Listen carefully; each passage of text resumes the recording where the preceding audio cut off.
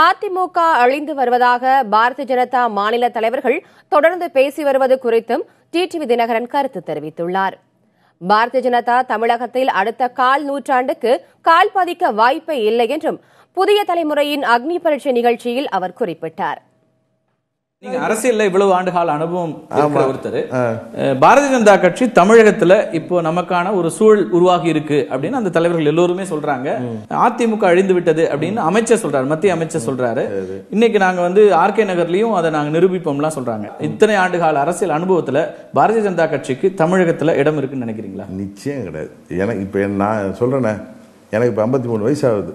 இன்னும் இருபத்தைந்து ஆண்டுகளுக்காவது குறைந்தபட்சம் பாரதிய ஜனதாங்கிறது தமிழ்நாட்டில் கால் ஊன்றவே முடியாது.